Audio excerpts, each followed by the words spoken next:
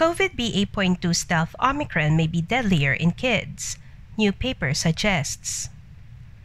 The cases of stealth Omicron variant BA.2 are slowly growing, so experts are evaluating how serious are the symptoms the variant can cause.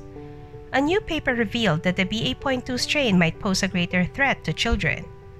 Before we go on, the paper submitted to the Lancet is yet to be peer reviewed. The findings are not absolute, but adults should be vigilant since we are still in a pandemic. Anyone, including children, who contracts COVID 19 is at risk of hospitalization and complications. Thus, continuing preventive measures can help protect us from this deadly disease. According to CNN, the new study on the severity of the BA.2 subvariant in children in Hong Kong found that it was more serious for children compared with variants or compared to parainfluenza or influenza. Though the study only counted a small number of deaths and other unfavorable outcomes.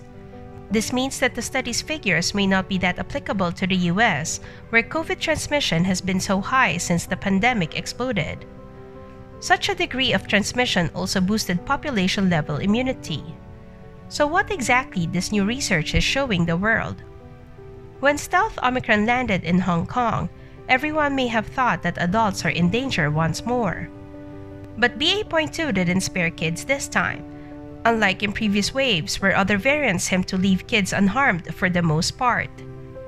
The study authors compared the outcomes of hospitalized children with BA.2 to the outcomes of children hospitalized with other COVID variants between January 2020 and November 2021. The same outcomes were compared to the outcomes due to parainfluenza and influenza between January 2015 and December 2018. Researchers highlighted several scary things.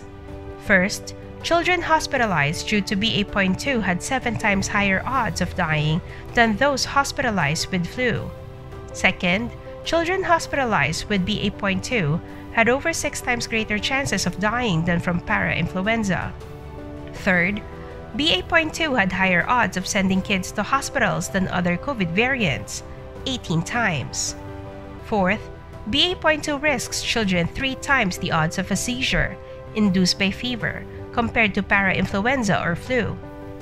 Hong Kong reported no such type of seizure among children during previous variants.